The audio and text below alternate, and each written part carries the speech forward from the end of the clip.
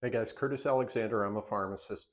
In this video, I want to talk about quercetin. I want to give you basically an overview. So we'll talk about what it is, what it's doing in your body.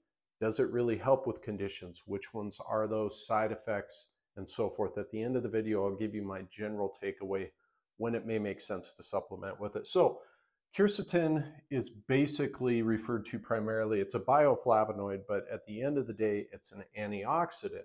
Now, your body can't produce it. You have to get it from food or supplements. Ideally, you know my stance on this, we always want to hit it from a food perspective. So as far as those foods that are actually very high in quercetin, we're talking about either uh, raw or boiled onions, cranberries, that's either the fruit or in juice form is high in it. Uh, a lot of different peppers are high. Now, a lot of people will throw around, oh, you should have kale and broccoli they have quercetin. They're actually not that high, excuse me, not that high in it.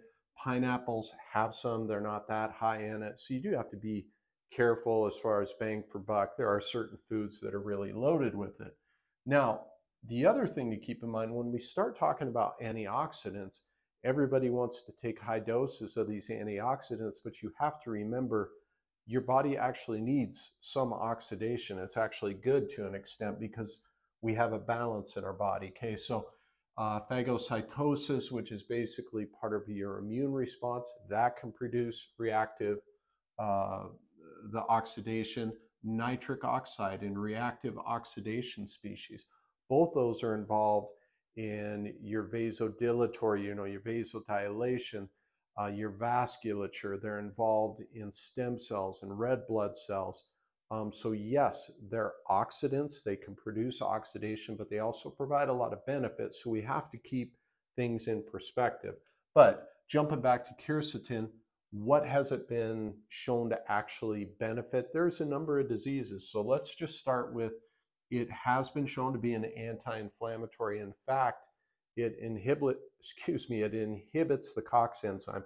Now the COX enzyme, things like Celebrex, do the same thing. So it is anti-inflammatory. It's also been shown to decrease C-reactive protein, which is a marker of inflammation in our bodies. Uh, it has shown to possibly play a role in preventing cardiovascular disease. Uh, so it can inhibit platelet aggregation, relaxing arteries. We've seen blood pressure decreases. We've seen decreases in that oxidized LDL that can be really um, terrible for the heart. And this was at fairly low doses. That was 150 milligrams a day. Now I'm going to include links to all these studies down in the description if you want to go check that out. Interestingly, on animal studies, it's shown to inhibit fat cell buildup, and in some human studies, it also can stimulate fat cell destruction. Does that mean it's the next latest and greatest weight loss thing, not necessarily, but I don't want to go down that rabbit hole in this video. We're kind of doing an overview here. Uh, neurologically, particularly with Alzheimer's and Parkinson's, there's some work being done as far as uh, preventing and lowering the damage that we can see to neurons in those diseases. Uh, even in cancer, they've done studies that have shown it's been able to decrease the size and the number of precancerous, not cancerous, pre precancerous liver lesions.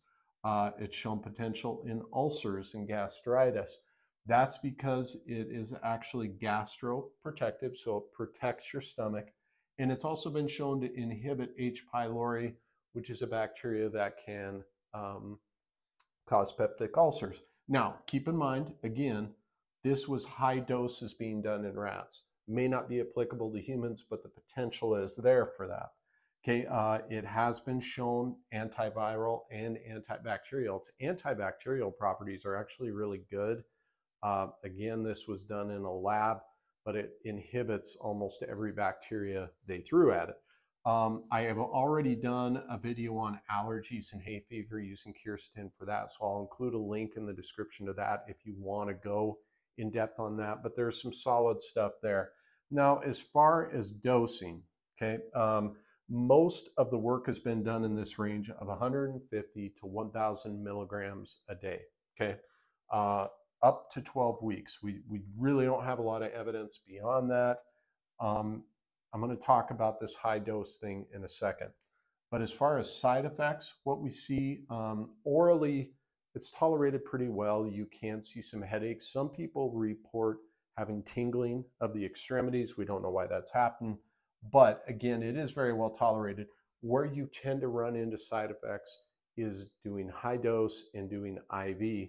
And over the last three years, IV use has become more popular due to its uh, anti-infective properties. But let's talk about the high dose. Keep this in mind.